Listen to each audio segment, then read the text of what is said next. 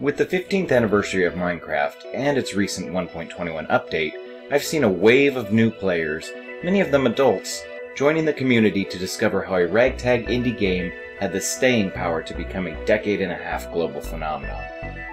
But for all its charm and potential, the same sandbox style that grants it such appeal can also be a double edged sword, with a huge learning curve for an inexperienced player. If that's you, you're in the right place, and welcome to Minecraft Caves Notes. The goal of this series is to create a library of easy to digest guides for understanding the basics of the Minecraft world. Things like how monsters spawn, what types of terrain and friendly creatures exist, types of movement and travel, and the physics of a world where stone stays put in midair and water can be replicated. Welcome back to Caves Notes. Last time we were here, we talked about water and lava. But unfortunately, I had to uh, split this video for time, so let's get into the rest of it. So let me show you some of the things that you can use water and lava for. Maybe you found that spot that you want to build, but there's all this pesky tall grass in the way. Simply use a water bucket, clear it out. If you're very industrious, you can even set up contraptions that will move items around for you using water.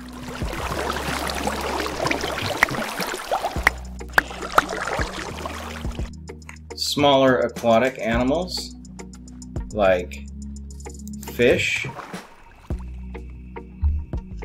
axolotl, and even tadpoles can be picked up with the water bucket. Just keep in mind that to pick up aquatic mobs in uh, water buckets, the bucket that you use must already have water in it. It won't work with an empty, empty bucket, you must already have a bucket of water. And then aim at the animal and click use to pick it up. And then likewise, you can aim at a uh, block underwater that uh, you want to place down on and click the use button to drop it back off again. Or let's say that you're playing and, and you want to store your valuables, but you've been having some trouble with creepers. Placing a chest down in water, or taking a water bucket and either clicking the use button on the side of a, the block that the chest is in, or holding sneak and placing it on the chest will waterlog the chest. The chest will still be usable, even underwater, but if a creeper attempts to blow it up, the chest will survive. Likewise, if a creeper actually explodes in water, then it won't damage any of the surrounding blocks. Endermen also hate water, so if you do accidentally anger one, pop some water down at your feet, at least if you're in a roughly level area, and you may just save your life.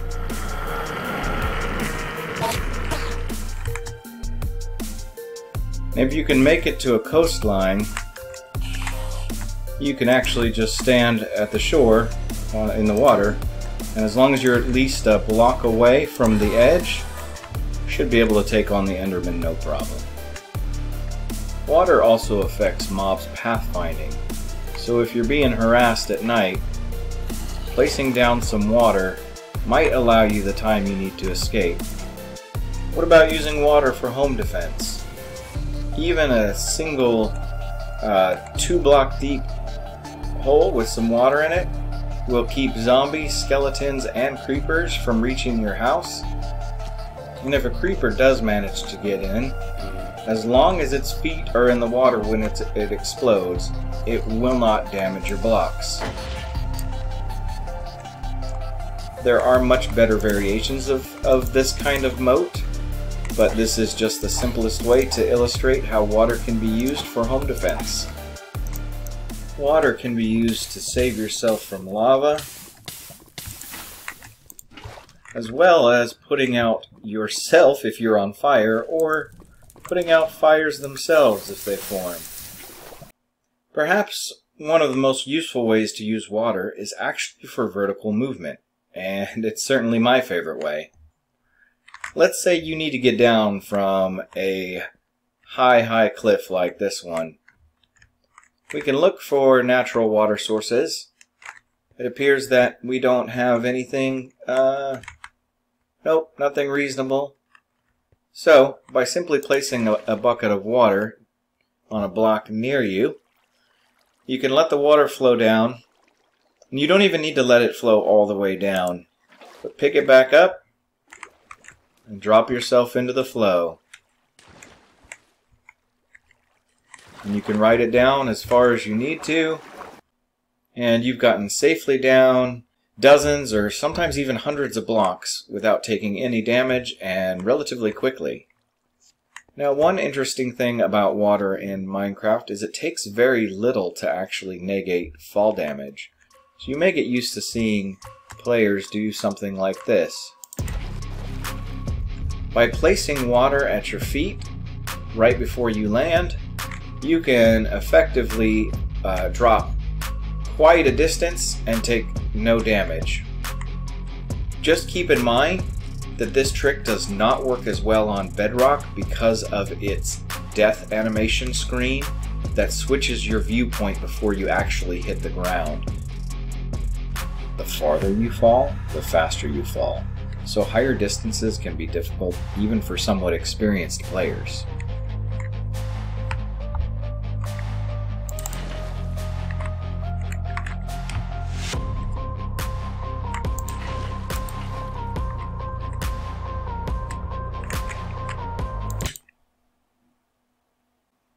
Water isn't just good for getting down quickly and easily, it's also useful for traveling up without needing to break or place blocks. Simply reach as high as you can, place your water, and then you can swim up it. And you can collect the water once you're done.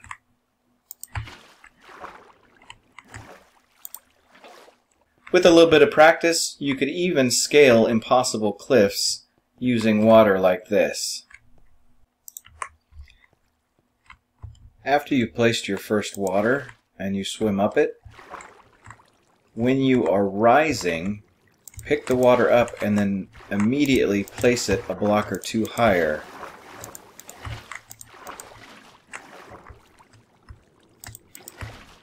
If you decide to do some underwater exploring and you find yourself low on air, you can place and fill your bucket repeatedly to get your air back.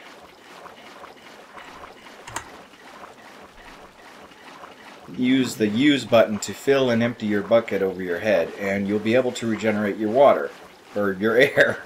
And of course, with this trick, you could pretty much explore underwater indefinitely. So what about lava? What can we use this for? Well, for starters, by uh, pure capacity, lava is actually the best fuel in the game. It's not the most efficient, because without a hopper system feeding into the furnace, you won't actually get the whole use out of it. That's because you can only place up to a stack of items in the furnace at a time, which is 64 items at most, whereas a bucket of lava is capable of smelting 100 items. So in order to get its full use, you would need to be able to continually feed items into the furnace. Now this is possible, but in the early game, you may not want to use lava as fuel. But when you get to a point where you have a system for it and a renewable source of it, it can be one of the best fuels in the game. Lava can actually be used as a decorative light source, as it provides the highest possible light level that the game allows. Just be careful when you're doing this, because if you don't have it covered properly, and it's within three blocks of any flammable block, like wooden items, it may be able to set them on fire. Uh, clearly that's what happened here. I lost some of my house due to putting the lava too close. However, if I had spaced this a little bit further away from the house, then you might see how a lava moat can also be useful for keeping mobs out of your house. Come on guys, come get in the lava, come get in the lava. Mobs will try to avoid lava when pathfinding the same way they would with flowing water. But when they bunch up enough, they may be able to push each other in. Lava may also be able to be used as an offensive weapon in some situations, although this is definitely situational and helps if you have the high ground. Otherwise, the slow speed of lava makes it easy enough for mobs to avoid. However, it is still possible. Remember, you can place a liquid and then immediately pick it back up, therefore lighting mobs on fire and dealing damage at the same time. This method would certainly take some practice, but can be incredibly useful in certain situations. Lava is also a common killing mechanism or trap in certain mob farms, such as this iron farm. Another situation that may not be as common, but is important to know about, is that arrows shot through lava will become flaming arrows and will light their target on fire. Just be careful, because this works both ways, and if you're fighting something like pillagers or skeletons, and their arrows go through lava, they can set you on fire as well. It's not just enemies that are susceptible to lava either. In the early game, you may find that one easy way to cook food is to just skip the extra furnace step. Animals that die when they are on fire will drop the cooked version of their meat instead of just the raw version. If you have built yourself a Nether portal, the normal way of lighting it would be with flint and steel, because the way the portal works is it activates whenever fire is placed on one of the inside faces of the blocks, like so. But what if you didn't have flint and steel? Well, one other method is actually to place lava on one side of the portal and some flammable block on the other side next to the open spaces. Because there is a chance that these wooden blocks light on fire on this side within the portal, as soon as that happens, the portal itself will automatically light. Oh, wow, that was really good timing. Uh, it does normally take longer than that. I thought that I was going to have to cut this clip down. But I guess the, the game was, was just aware that we were filming some cave notes and thought it might help us out. So with all that goodness, you'd think we'd be about done, right? But there's actually a couple of more things that can go in a bucket. One of those is powdered... Hello. One... Can you leave me alone, please? I'm trying to film a video here. Excuse me. I'm kind of busy. Thank you. So one of those two things is actually powder, powdered snow. Looking carefully at the texture, there's a bit more of a snowflake texture on the top of powder snow. It is not easy to see.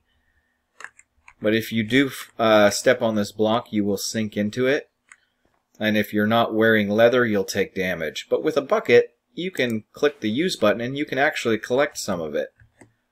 And then you can place it down and recollect it pretty much wherever you need it. Now, why is this useful? Well, if you have leather boots on, you can actually walk on powdered snow, and you can press the sneak button to go down into it the same way as you would with scaffolding, and you won't take damage from powder snow if you are wearing leather. So, so what do we do with that? Well, first, let me bring up something that I forgot to mention earlier. And let's take our leather boots back off and say that we accidentally start sinking into the snow and we're freezing. Placing down water will clear the powder snow around us. Is one of the quickest ways to save yourself if you do find yourself stuck in powdered snow. You can also just place it down on the side of the hill and it will start clearing out any powdered snow within its path. This can be incredibly handy for navigating this terrain as it tends to be very, very dangerous for newer players. Now that we have powdered snow, we can use this in some similar ways to water, such as being able to climb up areas that we might otherwise not be able to reach. Also, if we choose not to wear our, our leather boots, we can actually use powder snow the same way we would water to break our fall. The place where this can come in very, very helpful is actually in the game's nether dimension, where water can't be placed at all. But in a weird twist, snow and ice can. Similar to catching lava in a cauldron using dripstone, both rain and snow can actually be collected in the cauldron in the appropriate places simply by leaving it out under the open sky.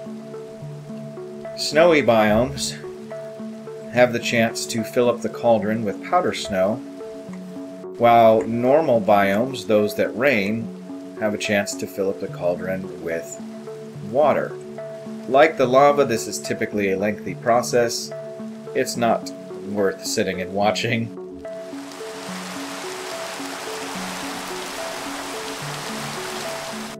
One more thing you can use a bucket for. If you click the use button on a cow, you'll get milk. Hold the use button to drink it. Unlike food, it's not going to restore any uh, health, and you can recollect from a cow as many times as you want. But what milk is good for is for clearing status effects. Like if, for example, I was poisoned by a witch. Well, that didn't last very long. Hit me. Hit me with poison.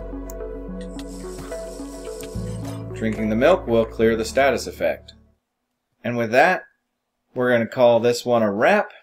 I hope you learned something about water and lava today.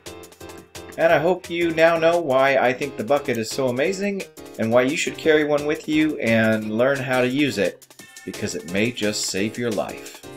As always, Thank you for watching, and I'll see you in the next one.